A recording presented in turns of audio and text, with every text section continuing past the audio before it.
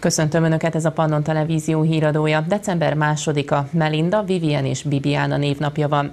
1804-ben Franciaország császárává koronázta magát Bonaparte Napóleon. 102 éve Albert Einstein közzétette relativitás elméletét, most pedig következzenek a nap kiemelt hírei, először csak röviden. Szombat hajnalban teljesen leégett egy hűtőház és egy garázs Királyhalmon. Több mint 20 üstben sült a töpörtyű a Hagyományok téli fesztiválján ma Palicson. Megnyílt a Szabadkai Városi Korcsolya pálya. Ünnepelte a Szent Mihályi Foci Klub. Szombat hajnalban teljesen leégett Osztrogonát Simon hűtőháza és garázsa Királyhalmon. A lángok 3 óra 30 perc körül csaptak fel Szabadkaváros tanácsának mezőgazdasági ügyekkel megbízott tagjának udvarában. A tűzoltók negyedöt körül értek a helyszínre, akiknek reggel 7 órára sikerült teljesen eloltaniuk a lángokat. A tanácsos hűtőháza az ott raktározott munkagépekkel, valamint a garázsa is a tűzmartalékává vált. Ahogy mögöttem is látható, teljesen kiégett ez a királyhalmi épület, már csak a falak maradtak meg. A tulajdonos szerint több tízezer eurós kár keletkezett. Osztrogonác Simon hivatali autója felismerhetetlenségig kiégett. Cserépdarabok és a tűz martalékai fogadták stábunkat. Ott jártunkkor is füstöltek még a leégett épület maradványai. Hogy kijöttem a, a, ide a garázs elé, láttam, hogy a hűtőházba a álló kocsi, a hivatali kocsi van, Suzuki lángokba áll és ég. Pár robbanás, durrogás történt olyan mértékben égett, hogy nem lehetett a közelébe menni. Hívtuk a tűzoltókat azonnal, mire a tűzoltók helyszínre érkeztek, addigra a lángok átterjedtek az egész épületre, és hát most ez a helyzet, amilyen helyzet van, tehát légett az egész épület.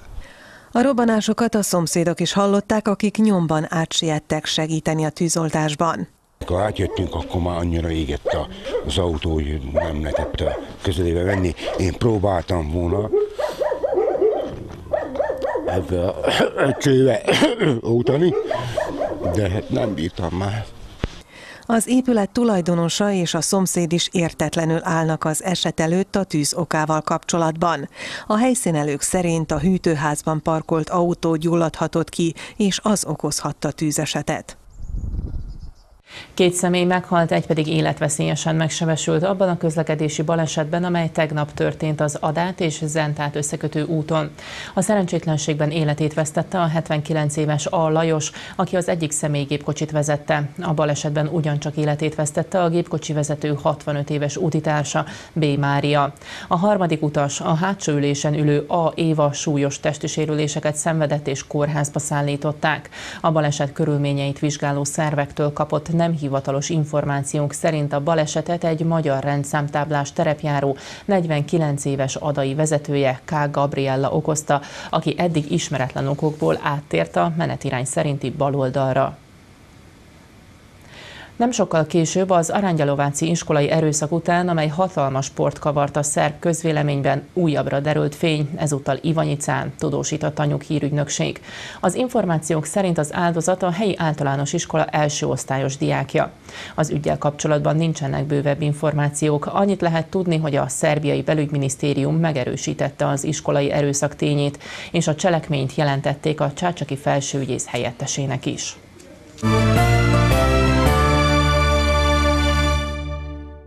Szombat éjszakától vasárnap reggelig Szerbia nagy részén, így Vajdaságban is havazásra számíthatunk. Az ország területén várhatóan 5-10 cm-es hó eshet, de a hegyekben akár 20 cm-es hótakaró is kialakulhat, jelentette a Köztársasági Hidrometeorológiai Intézet. A térségben továbbra is borús, hideg időre számíthatunk, és a jövő hét folyamán többször előfordulhat enyhe havazás. Rendkívüli helyzetet hirdettek a hó miatt Szerbia egyes déli részein, tájékoztatnak az illetékesek. A közlés szerint problémák adódtak a közlekedésben, és több helyen a vízellátás is szünetel. Vlaszatincében és a környező falvakban a helyi vízgyár szerint a nap végéig normalizálódhat a helyzet, azonban az első pár órában emberi fogyasztásra még nem használható majd a víz. Az idén 73 ezer szegény háztartás használhatja kedvezményesen a szerbiai villanygazdaság szolgáltatását. Ez 10%-kal több, mint az előző évben. A támogatottak szerződései az év végén lejárnak, ezért már hétfőn igényelhetik a kedvezményes felhasználói státuszt a 2018-as évre. A legveszélyeztetettebb háztartások havonta 120 és 250 kWh elektromos energiát, valamint a téli időszakban, vagyis október és április között 75 köbméter gázt kaphatnak ingyen. A szociálisan veszélyeztetettek mellett más háztartások is kaphatnak ingyen áramot és gázt. Azok igényelhetik ezt, amelyek havi bevétele nem haladja meg a megszabott határokat. A fűtés, idény, a fűtés idény eddigi két hónapja alatt gáztámogatást csak 55 háztartás kapott. A szerbiai gázművek szerint ez a szám növekedni fog a következő hónapok, hónapokban. További információkat médiaházunk honlapján a www.pannonertv.com címen is találhatnak az érintettek.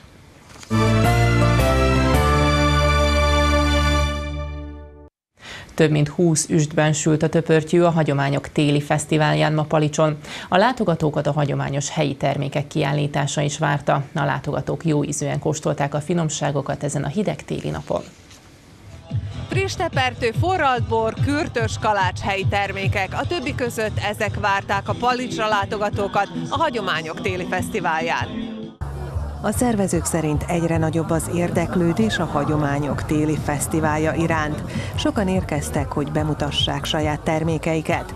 Az ünnepekre való tekintettel a legtöbben a karácsonyi dekorációkat, apró süteményeket keresték.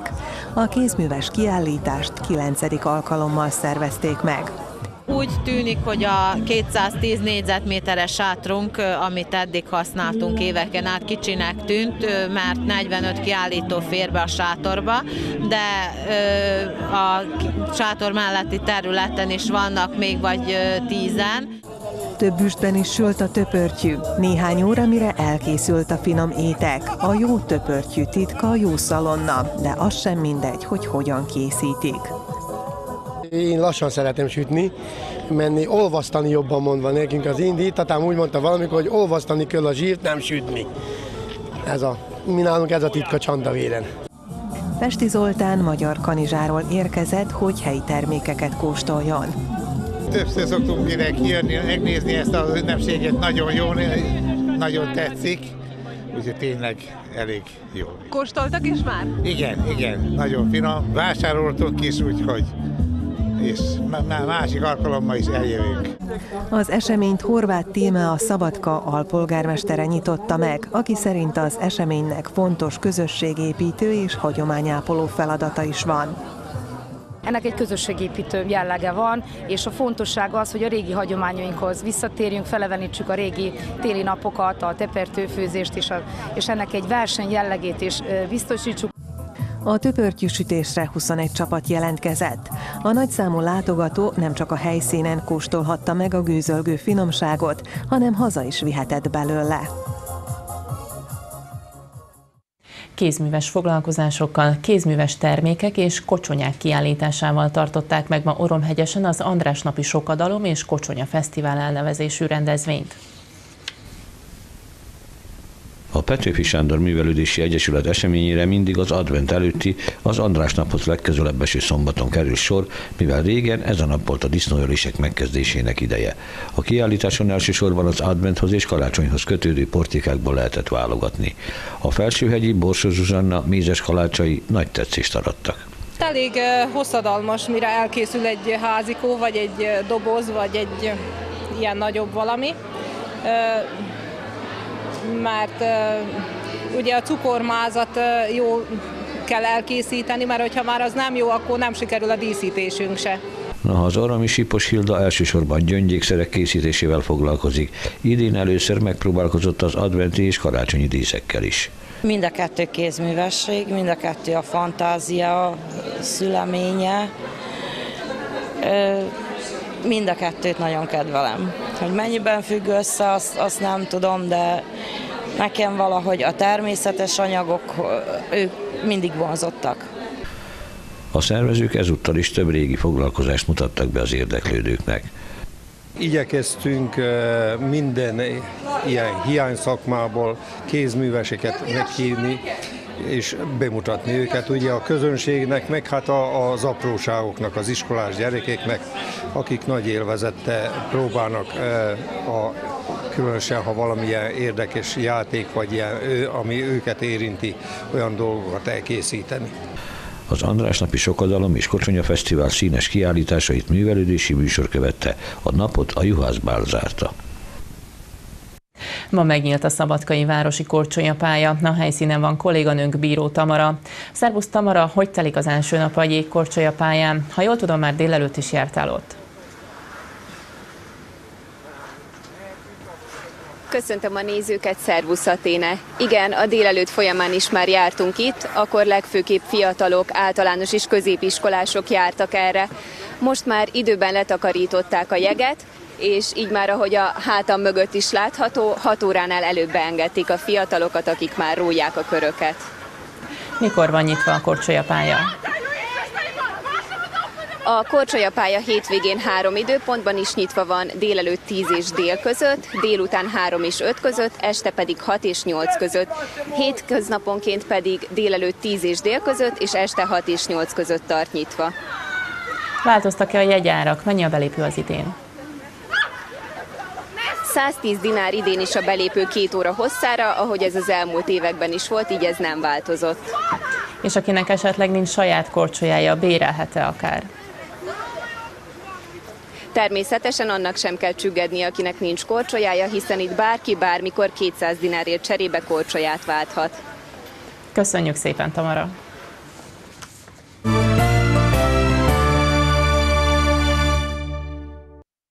Koszovó kérésére az Interpol törölte nemzetközi körözési listájáról Ramos Haradinaj koszovói miniszterelnököt, aki ellen 2004-ben Szerbia kérésére adta ki elfogató parancsot, jelentette be Abelard Tahiri koszovói igazságügyi miniszter. Az igazságügyi tárca vezetője közölte, Haradinaj mellett további 17 koszovóit töröltek a körözési listáról.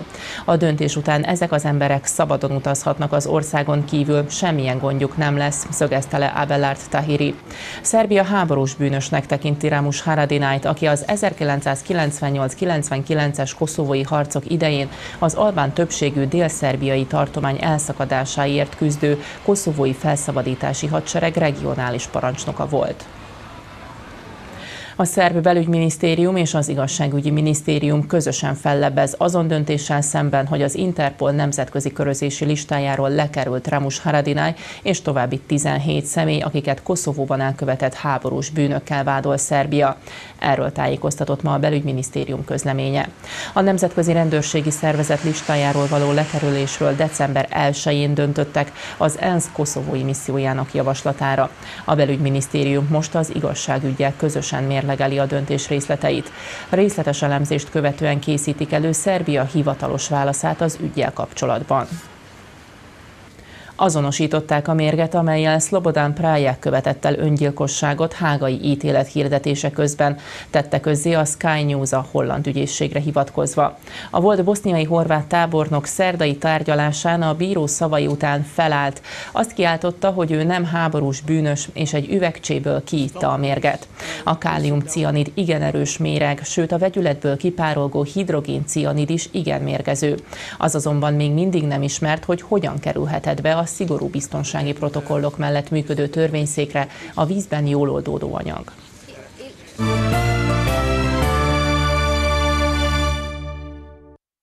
A magyar kormány 2018-ban is több intézkedéssel támogatja a külhoni magyar családokat az egészségügyben, az oktatásban és a vállalkozásban, mondta a miniszterelnökség nemzetpolitikáért felelős helyettes államtitkára a Rákóczi Szövetség pénteki tatai találkozóján, amelyen száz felvidéki, délvidéki és anyaországi pedagógus vett részt. Szilágyi Péter kiemelte, a Szülőföldön Magyarul program keretében 2010-től 2017-ig 38 milliárd forint oktatási nevelési támogatást támogatást nyújtottak az óvodai és közoktatásban résztvevő gyermekeknek. A Kárpát-medencei óvodafejlesztési program 2018-ig tartó első ütemében 17,1 milliárd forintból 76 új óvodai és bölcsöde épül, és több mint 200 intézményt újítanak fel.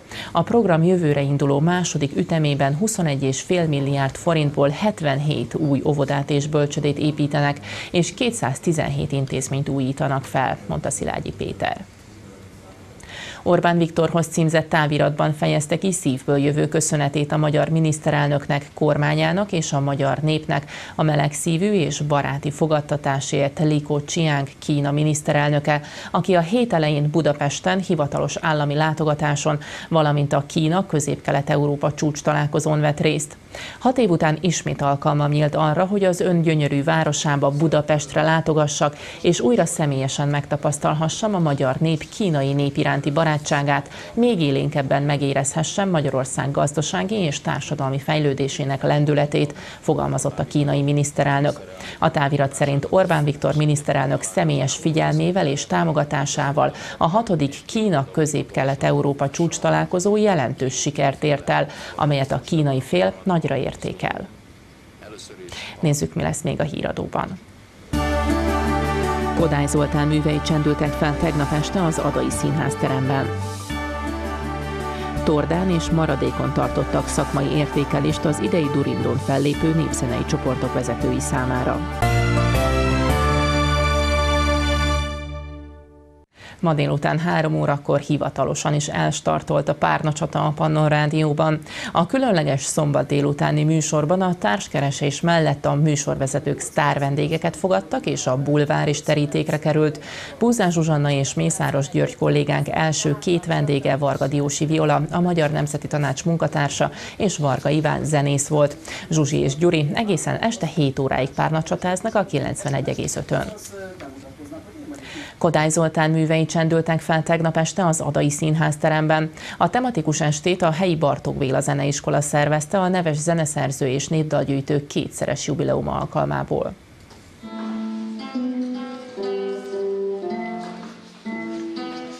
A zeneiskola tanárai igyekeznek a külföldiek munkája mellett a magyar zeneszerzők darabjait is megtanítani a gyerekekkel.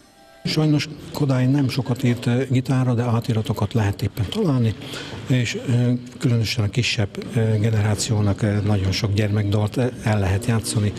Bármilyen hangszeren, nem csak gitáron, bármilyen hangszeren eljátszhatók ezek a gyermekdalok és népdalok. Kodály Zoltán munkásságában fontos pont a gyerekek zenei képzése. Kodály munkásságából szerintem a gyerekekhez való viszonyát és a gyerekek zenei oktatásához való viszonyát tartom fontosnak, és ennek a szóval maga Kodály módszernek a megalapítását és reformálását a gyerekek oktatásának a zenére. Ezt tartom szerintem a legfontosabb művének.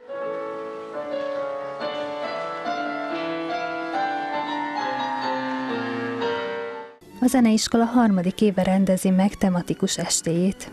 Első évben Bartókot választottuk, tavaly Mozart estünk volt, most pedig ugye Kodály, mivel ő, ő neki dupla jubileuma is ez az idei év, születésének 135, halálának pedig 50. évfordulója. Az esten felléptek a zeneiskola növendékei, valamint a tanárok és a kórusok is bemutattak egy-egy részt a neves magyar zeneszerző munkájából.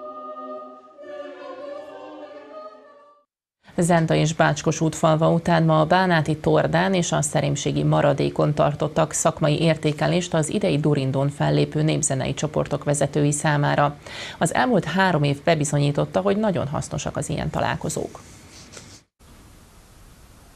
A Bánáti Torda művelődési otthonába 15 középbánáti népzenei csoport vezetője jött el a 41. Durindó szakmai értékelésére.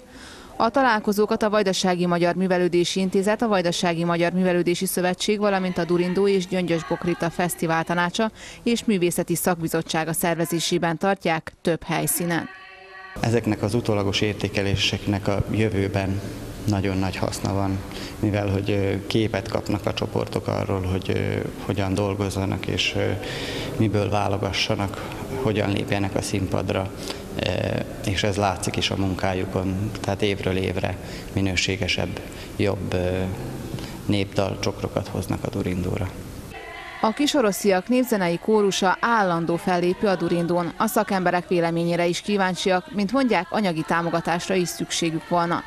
A mi csoportunk, a kórusunk 2000-ben alakult januárjában, tehát 17 éve dolgozunk együtt, Hát eddig még minden, mindegyik Dorindon részt vettünk, szerettünk. Elejében hát volt a csapatban 17-20 is tag, hát most már fogyunk, ki elköltözött, ki elmaradt, ki nem akar, ki nem bír. A szakemberek csak az ilyen utólagos találkozókon oszthatják meg a véleményüket a népzenei együttesekkel, illetve azok szakmai vezetőivel. Elmondjuk a tényleg jobbító szándékkal azokat a észrevételeket, amelyekkel, amelyekkel találkoztunk ezen a rendezvényen, vagy egyáltalán jelen vannak. Úgy a viseletre, a, a, a dalokra, a dalválogatásra, az elmúlt három év is igazolta az ilyen találkozók létjogosultságát, melyek útmutatót adnak a népzenei csoportoknak értékelések a számunkra nagyon jók, mert itten nyugodt kör, környezetbe kevés, kevés eh, számú kórus vezető szólista jelenik meg, és nyugodt körülmények között a zsűri véleményét meg tudjuk hallgatni. A következő szakmai értékelést vasárnap hajdújáráson a Livka Sándor Művelődési Egyesület székházában tartják, amelyre az Északbácskai Népzenei Együttesek szakmai vezetőit várják. Hangulatos, játékos keretek között zajlott Vásonyi Csilla első könyvének a Magyar Kanizsai Népkert és Vigadó bemutatója Magyar Kanizsán. Csillát, aki néptáncos, énekes és kutató is, a hétköznapokról, munkájáról és Magyar Kanizsa iránt szeretetéről faggatta vígisára.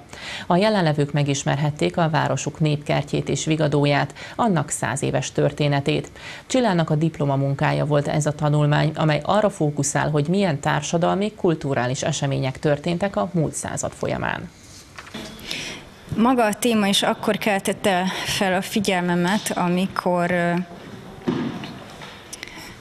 2013-ban történt az az eset, hogy voltak olyan tervek, hogy esetleg egy élményfürdő épülne a, a népkert területén, és hogy ez mekkora indulatokat váltott ki a, a kanizsaiakból, úgyhogy én úgy gondolom, hogy hogy akármennyire is nem hasonlít már a, a száz évvel ezelőtti önmagára, a kanizsaiak lelkében valahol még mindig él az a kép, és, és még mindig ragaszkodnak hozzá, és, és, és igazából ezt teszi értékessé, ezt az örökséget.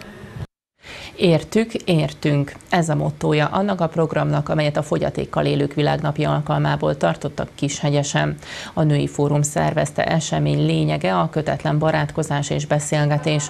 Bemutatkozott a Kiskunhalasi Ékeskapu együttes, az Izida tagjai pedig színdarabot adtak elő. A község képviseletében Mohácsi Zoltán, a helyi közösség tanácsának elnöke elmondta, fontos, hogy a fogyatékkal élők is részei legyenek a község vérkeringésének.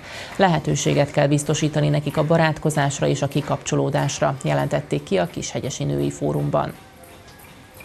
Ingyenes Android programozás kurzusokat tartanak december 6-áig a Kockasuli elnevezésű program keretében a Szabadkai Magyar Tannyelvű Tanítóképzőkaron. Az érdeklődők elkészíthetik saját alkalmazásukat, és számos hasznos információt szerezhetnek napjaink egyik legnépszerűbb területéről.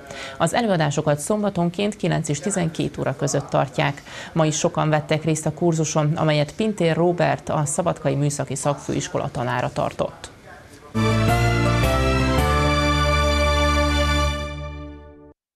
Vasárnap lesz az év egyetlen szuperholdja. Az égi jelenségek iránt érdeklődők az év legkövérebb holdját csodálhatják meg vasárnap. A hold ellipszis alakú pályán kering a Föld körül, azaz hol közelebb, hol távolabb jár tőlünk. A hold pályájának Földtől legtávolabbi pontja 405 ezer kilométerre van, míg Földhöz legközelebbi pontja 356 ezer kilométerre.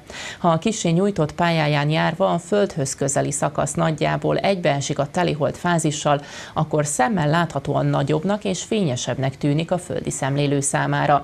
2016-ban is csak egyszer volt, november 14-én, de például 2018-ban kétszer is lesz.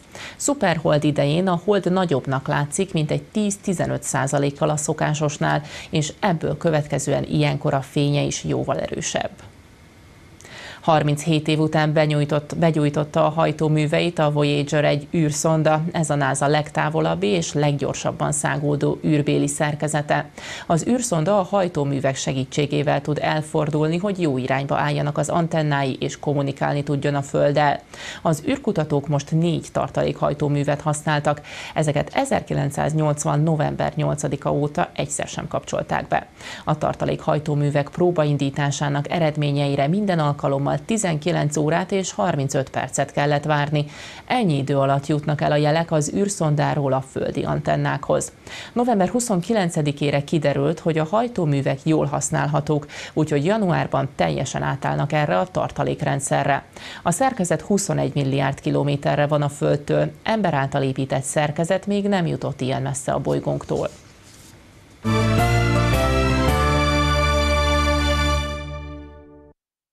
73 éves korában elhunyt Nikolas Speár szabadkai teniszező, teniszező, edző, nemzetközi szintű teniszbíró. Speár volt az első szerb teniszező, aki bekerült az ATP világranglistájának első száz helyezettje közé. Edzői pályafutása szintén kiemelkedő volt, dolgozott osztrák és dán szövetségi kapitányként, volt a szerbiai teniszszövetség elnöke is. Az egykori játékos maga is pályára lépett a Davis kupán, négyszer volt Jugoszlávia szenior bajnoka.